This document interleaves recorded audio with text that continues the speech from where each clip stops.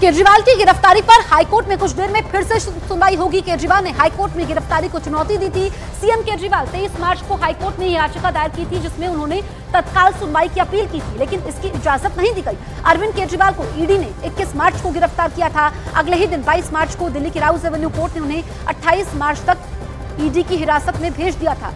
तो केजरीवाल की गिरफ्तारी पर हाईकोर्ट में अब से कुछ देर में एक बार फिर से सुनवाई होगी। अभी सुनवाई टली है। हमने देखा कि इससे पहले केजरीवाल की तरफ़ से अभिषेक मनु सिंघवी पेश हुए और यहाँ पर केजरीवाल ने अपनी गिरफ्तारी को गैर कानूनी बताया है। ईडी की रिमांड को चुनौती दी है। वो 28 मार्च तक ईडी की रिमांड पर हैं और हमने देखा कि लगातार केजरीवाल के समर्थक आम आदमी पार्टी ये कहती आई है कि एक नेता को पूरा अधिकार है कि वो चुनाव में हिस्सा ले। हमारे साथ विक्रांत इस वक्त लाइव मौजूद है। विक्रांत, क्या हाईकोर्ट में सुनवाई शुरू हुई थी? कुछ देर बाद फिर से सुनवाई शुरू होगी। अभी तक क्या हुआ सुनवाई के समय? देखिए, अरविंद केजरीवाल की तरफ़ से याचिका उनकी गिरफ्तारी के ठीक बाद दाखिल की गई थी। इस पर अर्जेंट हियरिंग की मांग की गई थी। हालाँकि अर्जेंट हियरिंग नहीं हुई थी। आज होली की छुट्टियों के बाद जब कोर्ट खुला तो इस मामले की सुनवाई हुई। सुबह साढ़े दस बजे जस्टिस स्वर्ण कांता शर्मा की कोर्ट में इस मामले की सुनवाई हुई। अरविंद केजरीवाल की तरफ़ से वरिष्ठ वकील अभिषेक मनु सिंघवी पेश हुए। उन्होंने कहा कि इस मामले को तुरंत सुना जाना चाहिए और उन्होंने याचिका के साथ साथ जो मुख्य याचिका है, उसके साथ साथ अंतरिम राहत की भी मांग की है, जिसमें रिमांड को चैलेंज किया गया है और उन्होंने कहा कि रिमांड की अवधि कल खत्म होने जा रही है, इसलिए वो चाहते हैं कि आज ही इस मामले को सुना जाए। वहीं ईडी की तरफ़ से additional solicitor general S Raju पेश हुए। उन्होंने कहा कि हम मुख्य याचिका में जवाब दाखिल करने के लिए कम से कम तीन हफ़्ते का समय चाहते हैं, क्योंकि ये लंबी याचिका है और उसके साथ साथ जो इंट्रिम प्रेयर है, उसके लिए हमें एक रीजनेबल समय दिया जाए, लेकिन कुछ समय दिया जाए। हालाँकि अभिषेक मनु सिंघवी ने इसका पूरा विरोध किया। उन्होंने कहा कि रिमांड की अवधि कल ही खत्म हो जाएगी। लिहाजा इस मामले को आज ही सुना जाना चाहिए, जिसके बाद कोर्ट ने कहा कि एक बार पहले सप्लीमेंट्री लिस्ट के मामलों को सुन लेते हैं और उसके बाद इस मामले को सुना जाएगा। तो कोर्ट ने इस मामले में पास ओवर दे दिया है। अब उम्मीद की जानी चाहिए कि दोपहर के करीब एक बार फिर ये मामला जस्टिस स्वर्ण कांता मेहरा की कोर्ट में सुना स्वर्ण कांता शर्मा की कोर्ट में सुना जाएगा। जब सप्लीमेंट्री लिस्ट के सारे मैटर खत्म हो जाएँगे, उसके बाद इस मामले को दोबारा सुना जाएगा। बिल्कुल तो विक्रांत, हमें दोपहर तक का इंतज़ार करना होगा, लेकिन लगातार आम आदमी पार्टी ये कहती आई है, खासकर हम केजरीवाल के वकील अभिषेक मनु सिंघवी की बात करें तो वो कह रहे हैं कि एक नेता को अधिकार है चुनाव में हिस्सा लेने का। और अगर ईडी ये कह रही है कि उनके पास पूरे सबूत हैं तो फिर गिरफ़्तार क्यों किया गया है, पूछताछ क्यों करना चाहती है ईडी? इस पर क्या दलीलें यहाँ पर ईडी के द्वारा रखी गई हैं? देखिए, रिमांड को उन्होंने चैलेंज किया। बेसिकली उन्होंने अपनी गिरफ्तारी को अनकॉन्स्टिट्यूशनल गैर कानूनी बताया और ये कहा है कि जो नोटिस उन्हें भेजे गए थे, उसमें किसी में भी उनका नाम बतौर एक्यूज नहीं रखा गया था। गिरफ्तारी से पहले कभी उनका नाम एक्यूज के तौर पर नहीं लिया गया था। अचानक से उन्हें गिरफ़्तार कर लिया गया और उसके बाद उनके, उनको रिमांड पर भी ले लिया गया। उन्होंने अपनी गिरफ्तारी को भी चैलेंज किया और रिमांड को भी चैलेंज किया। इस समय न्यूज़ एटीन इंडिया के दर्शकों को मैं एक और जानकारी दूँ कि आज दोपहर में साढ़े बजे आपके लीगल सेल ने दिल्ली की तमाम निचली अदालत अदालतों में। प्रोटेस्ट की भी कॉल की है। वो मामला भी आज हाईकोर्ट में पहुँचा था।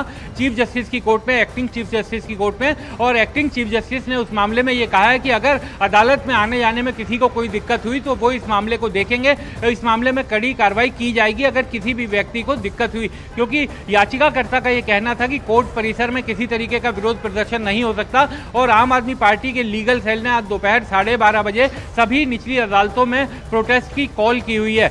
तो उसे रोका जाना चाहिए। कोर्ट ने कहा कि अगर किसी भी व्यक्ति को कोर्ट में दिक्कत हुई तो हम इस मामले को देखेंगे। तो आज ये भी एक मामला कोर्ट के सामने आया था। अरविंद केजरीवाल की याचिका का जो मुद्दा है वो अब से कुछ देर बाद ये उम्मीद की जानी चाहिए कि लंच के करीब या लंच से पहले दोबारा से आ सकता है क्योंकि अभी कोर्ट सप्लीमेंट्री मैटर सुन रही है और उसके बाद कोर्ट में अरविंद केजरीवाल की याचिका को सुना जाएगा। तो बड़ी जानकारी विक्रांत देते हुए। विक्रांत आगे भी आपसे संपर्क साधेंगे फ़िलहाल। शुक्रिया आपका। तो ये बड़ी खबर इस वक्त की हम आपको बता रहे थे अरविंद केजरीवाल से जुड़ी हुई जहाँ पर दोपहर के बाद एक बार फिर से कोर्ट में सुनवाई होगी। अब बात बिहार की कर लेते हैं। बिहार में महागठबंधन में सीटों के नाम पर अंतिम फैसला आज की बैठक में हो सकता है। लालू कटिहार सीट कांग्रेस को देने को तैयार। है ये सूत्रों के हवाले से बड़ी खबर है। इसके अलावा कांग्रेस औरंगाबाद सीट निखिल कुमार के लिए और पूर्णिया सीट पप्पू यादव के लिए मांग रही है।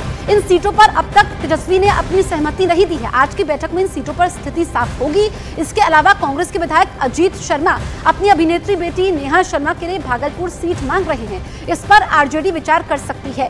कांग्रेस बेगूसराय की सीट कन्हैया कुमार के लिए मांग रही है, लेकिन कन्हैया पिछली बार लेफ़्ट से लड़े थे। इसीलिए लालू ने इस सीट को लेफ़्ट को देने को मना मन बना दिया है और वो अपने फैसले पर अड़े हैं। मीरा कुमार के लिए लालू सासाराम की आरक्षित सीट छोड़ने को तैयार है, लेकिन मीरा कुमार के बेटे के लिए काराकाट की सीट छोड़ने को तैयार नहीं है। मीरा कुमार अपने बेटे के लिए काराकाट सीट चाहती है, लेकिन लालू इसके लिए तैयार नहीं है। अब देखिए, कई सीटें ऐसी हैं जिस पर पेच फंसा हुआ है। हालाँकि तेजस्वी यादव कह रहे हैं, सब ठीक है, लेफ़्ट कांग्रेस और आरजेडी मिलकर चुनाव लड़ेंगे, लेकिन कैसे? जो पेच फंसा हुआ है, उस पर स्थिति अभी तक साफ़ नहीं हो पाई है। आइए अब आपको बताते हैं कि वो कौन सी सीटें हैं जिन पर आरजेडी कांग्रेस का पेच फंसा हुआ है और उनके बीच ठन गई है। आ, सबसे पहले हम बात करेंगे औरंगाबाद सीट की जहाँ पर आरजेडी अभय कुशवाहा को उतारना चाहती है। अब ये देखिए कि आरजेडी अभय कुशवाहा को यहाँ पर उतारना चाहती है लेकिन कांग्रेस निखिल कुमार के लिए यह सीट मांग रही है। अब दूसरी सीट आती है पूर्णिया के लिए जहाँ पर बीमा भारती इसके लिए यहाँ पर पूर्णिया सीट पर मांग रही है, लेकिन यहाँ से आरजेडी बीमा भारती को उतारना चाहती है, बेगूसराय से कांग्रेस कन्हैया कुमार को उतारना चाहती है, लेकिन पिछली बार कन्हैया कुमार लेफ़्ट से चुनाव लड़े थे, इसलिए लालू यादव ये सीट लेफ़्ट को देना चाहते हैं। कटिहार सीट पर कांग्रेस तारिक अनवर को उतारना चाहती है, वहीं आरजेडी कटिहार सीट पर सीपीआईएम को देना चाहती है। चंद्रमोहन हमारे सहयोगी लाइव मौजूद है। चंद्रमोहन हम सीटें एक एक करके बता रहे थे इस पर पेज फंसा हुआ है। तेजस्वी कह रहे हैं मिलकर लड़ेंगे वो तो ठीक है लेकिन स्थिति इन सीटों पर अभी साफ़ नहीं है। बिल्कुल और यही आ, सीटों को लेकर अब तक पेज फंसा हुआ है जिसको लेकर कांग्रेस लगातार ये कह रही है कि लालू यादव बिना उनसे पूछे हुए बिना सीटों के बंटवारे का इस तरह से अपने उम्मीदवारों का ऐलान कैसे कर सकते हैं? अभय कुशवाहा को औरंगाबाद से लालू यादव ने उतार दिया है। उनको सिंबल दे दिया है, जबकि कांग्रेस निखिल कुमार को वहाँ से चुनाव लड़ाना चाहती थी। सीपीआई के खाते में चला गया है बेगूसराय, जहाँ से कांग्रेस अपना उम्मीदवार कन्हैया कुमार को बनाना चाहती थी। और उसी तरीके से पूर्णिया में पप्पू यादव अपने पार्टी का विलय इसलिए कर लिए थे क्योंकि वहाँ से कांग्रेस उनको अपना उम्मीदवार बनाना चाहती थी, लेकिन लालू यादव ने कल तक जो बीमा भारती जेडीयू में हुआ करती थी, उनको अपने पार्टी में ले लिया है और उनको वहाँ से उम्मीदवार बनाने जा रही है। इसी इन्हीं सभी सीटों को लेकर पेज फंसा हुआ है कटिहार, जो लालू यादव साफ़ तौर पर कह रहे हैं कि लेफ़्ट के खाते में जाएगा, जबकि कांग्रेस वहाँ से तारिक अनवर को अपना उम्मीदवार बनाना चाहती है। तो इन्हीं सभी सीटों को लेकर लगातार खींचतान जारी है और अब तक ये भी नहीं हो पाया है कि कौन कितने सीटों पर बिहार में चुनाव लड़ेगा। कांग्रेस साफ़ तौर पर यह कह रही है कि नौ सीटों से कम उनको मंजूर नहीं है। जबकि लालू यादव ये कह रहे हैं कि छह सीट से ज़्यादा वो नहीं दे सकते हैं। और जो मुख्य सीटें जिसको लेकर शुरू से पेट फंसा हुआ था औरंगाबाद की बात करें बेगूसराय की बात करें पूर्णिया की बात करें कटिहार की बात करें या चंपारण की किसी एक सीट से कांग्रेस अपना उम्मीदवार उतारना चाहते तारीखों का ऐलान हो चुका है और इतनी देरी क्यों हो रही है? चार सीटें हैं जिस पर अभी पेज फंसा हुआ है। अपने अपने यहाँ पर महत्वाकांक्षा है सभी दलों की। तो क्या कुछ और ऑप्शंस बचते हैं? या फिर ये सुलझा लिया जाएगा, ऐसा माना जाए? इतनी देरी क्यों?